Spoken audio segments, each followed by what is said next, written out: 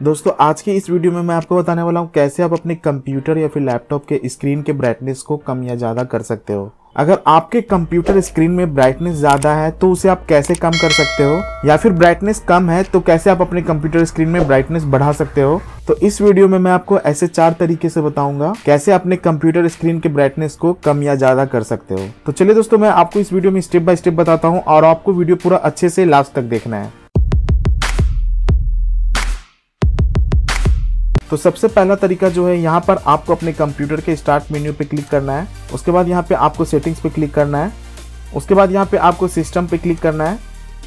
अब यहाँ पे आपको डिस्प्ले के अंदर change brightness for the built in display का ऑप्शन दिख जाता है। यहाँ से आप अपने कंप्यूटर स्क्रीन के ब्राइटनेस को कम या ज़्यादा कर सकते हो। अब जो दोस्तों दूसरा तरीका है, यहाँ पर आपको राइट क्लिक करना है डेस्कटॉप स्क्रीन में। उसके बाद यहाँ पे आपको डिस्प्ले सेटिंग्स पे क्लिक करना है। यहाँ से भी आप सेम डिस्प्ले वाले विंडो तक पहुँच जाओगे। सिंपली यहाँ से भी आप ब्राइटनेस को कम या ज़्यादा कर सकते हो। अब दोस्तों, यहाँ पे जो तीसरा तरीका है, यहाँ पर आपको स्टार्ट मेन्यू पे राइट क्लिक करना है। उसके बाद यहाँ पे आपको बहुत सारा ऑप्शन शो हो जाएगा। यहाँ पर आपको इस ऑप्शन को सिलेक्ट करना है मोबिलिटी सेंटर को। सिंपली आपको इस पर क्लिक करना है।